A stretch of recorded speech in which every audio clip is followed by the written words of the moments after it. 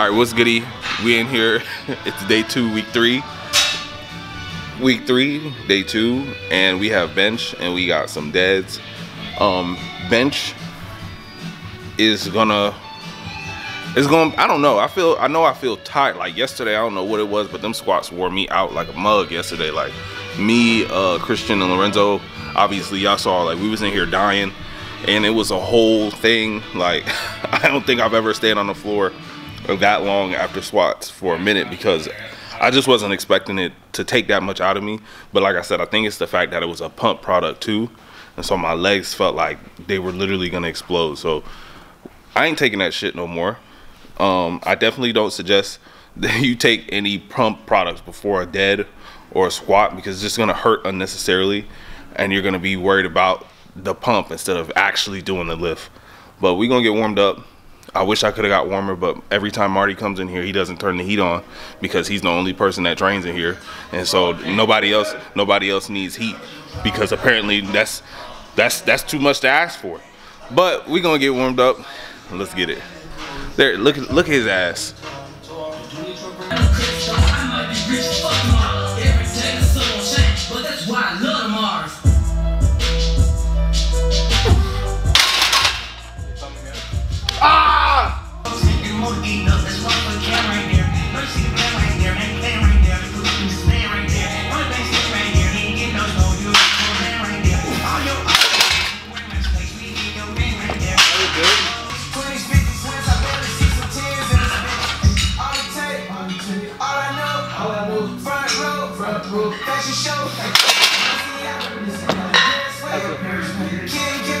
Felt good. I just got. I just got.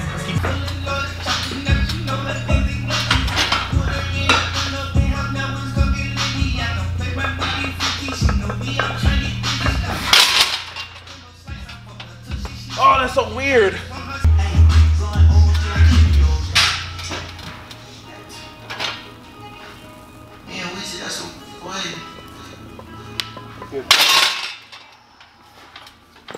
All right, so can, let's ignore the fact that my shirt wrinkled as hell, like it's extremely wrinkled. But all right, so we got top set. The only the only reason I'm nervous is because it's been a while since I've been able to do this much weight for this many reps. And normally, normally I wouldn't freak out. I'm not, and I'm not saying that I'm freaking out now, but it's like when you have a streak of success, it's like you'll do anything to not ruin that streak. And I don't want that to be today, but this is for me for me to me this is a lot. So to accomplish this it also means a lot. So we got four. I'm gonna just try to knock them joints out. Uh yeah it's it's crazy because it's like it's staring at me. I can feel the i can feel its the, the vice grips of fear trying to lock around my body and mind but i'm gonna get it. We're gonna get it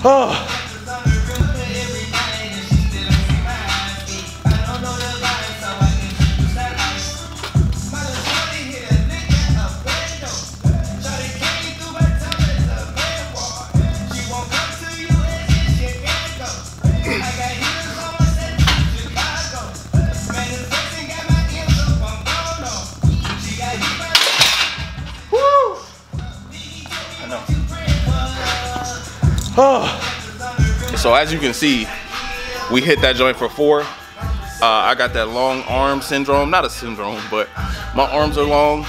And so that just means I just need to get them stronger. And it's all good. It's week three. We're like deep. We're deep. We in the we in the trenches. But I'm I'm happy with it because it's a lot for me, um, knowing where I come from. But something that I want to try to get through is these back downs the hardest thing, uh, and shout out to Martin. He actually did, Martin, you Martin, you did something right. Shout out to you. Um, the hardest thing for me to do is right now is get rid of the way I was benching before as far as like reaching and trying to pull the bar. If I'm if I'm sufficient in my legs, my elbows are turned down and I'm just staying active in my lower body, which is the harder part for me, then I, you don't have to contract your lats. They're already con, they're they're tight. So all you have to do is just like I have to like let it drop, like just ride it down. And it's funny because when uh, shout out to Devin, when we talk about squats, we talk about just creating that tension, being tight everywhere, and just riding your riding that tension down at whatever pace um, your body allows you to squat at. So it's kind of almost the same thing with bench for me at least. I'm not trying to go crazy fast. I'm trying to go as fast as I can while maintaining that tension. Um, but something that I, again, I need to work on and just do better is making sure that I keep that outward, that lateral tension. Because for me, with my stance and how wide I am, it's not so much uh, that up and down, that forward and back displacement, but just like that driving out. So we got back downs of fives at 336 and I'm going to do as many sets as I can before it drops. Hopefully I don't have to go down in weight and if I do, that's fine because it's important for me to maintain the RP through the whole set. So we we gonna we to do this.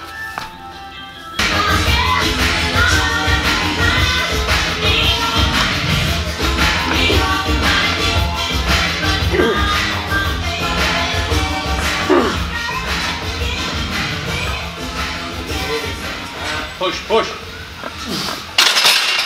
Ah, I did it, Mr. Fatiguey Man. Yeah. This. Let's do this. Michelle, this is Michelle, y'all. Hello, you guys. Michelle, what do you feel like is the number one thing that holds new powerlifters back from making progress? Um, I will say not being dedicated 100%. Like trying to enjoy life and then not taking everything seriously. Like your priorities are like so out of whack. What are what are what are what does it mean to take this seriously? Like you gotta give it 100% all of the time. And that means nutrition, sleep, recovery, um, training. Everything needs to be 100% if you want to be a great powerlifter. You hear that, guys? A lot of you guys are not brought in 100%. A lot of you guys are kind of just doing stuff. You're kind of just training. You're kind of just uh, counting macros or being on your nutrition. You're kind of just getting sleep needed.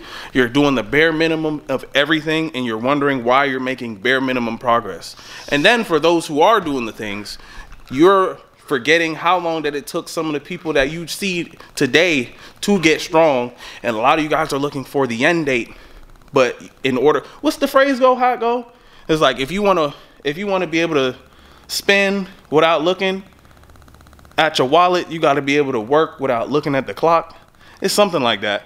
But you can't be looking like, oh man, I want to be here by then. And it's like, nah, it's good to have timelines, but you also have to just be able to go into that zone and work until you get there because I feel like a lot of people will work and it because they're not remotely close or they feel like they're really far away from their goal, that they're not improving, they're not getting better, when that is not the case. So we gotta we gotta get out of that toxic shit. That's toxic powerlifting mindset. We gotta get away from that. But we got deadlift, we got clusters. We're gonna start with two reds because that's what strong people do. Oh, fuck, why are you then- recording? What's up? All right, let's get it. two. Are the children, are the children. We are the ones who make it better Saturday. So,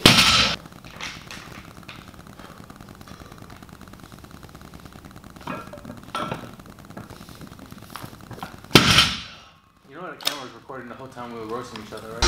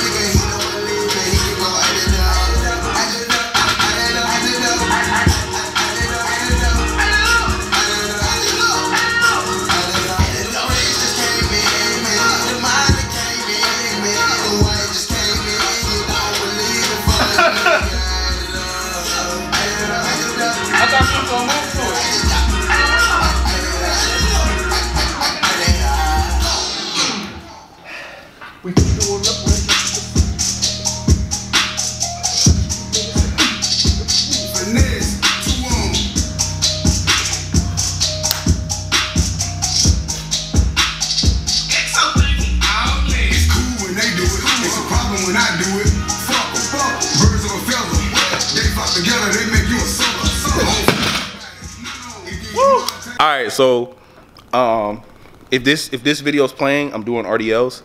So the thing about RDLs, right, is I feel like when people do RDLs, they kind of just rush them, and they think about it as like this supreme fucking contest instead of actually feeling the muscles that are supposed to work. So one thing that I have been doing personally is just going slower, making sure that I feel my hamstrings working, and I'm cueing myself to feel for the sensation of pulling my feet back and pulling the ground behind me through my heels so that I can push my hips back and just really focus on hitting my hamstrings. Um, I can RDL a, a lot of weight. Like if we just talking about like just throwing some shit on there, I can do that.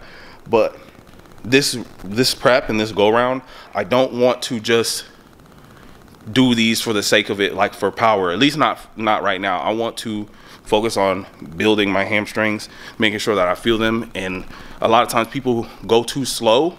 Not not go too slow. People go too fast, and they're just like versus like actually taking their time to work through and feel their hamstrings work. And then people wonder why um, they have little hamstrings or it's it's so like for example like with squat people don't understand that your quads are the main mover, but the antagonist needs to be well balanced so that there's not too much, like everything is firing synergistically. So even though a, a squat is quad dominant, if your hamstrings aren't working properly or they're not weak, they're not going to be able to provide that.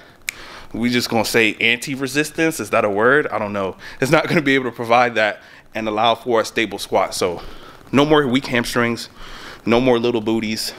Um, let's let's also not just work our booties. Like I feel like there's a weird obsession with like a big butt, and if you just train your legs, everything will kind of shape and work out. Don't just be in this bitch doing RDLs till the cows come home. Work your whole body. All right, hold on. That's why reels are so popular.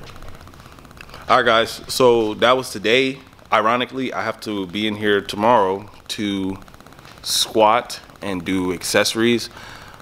Um, I'll probably normally I go to Fitness Connection. I do them, but I'll probably do them here because I have a pause squat set of five and a high bar set.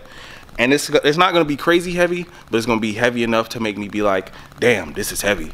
Uh, if you like the video, like the video. Uh, comment, like, share, subscribe. Stay confident, stay strong, stay fearless, stay dangerous, be undeniable, and press on. And I'll see y'all on the next one.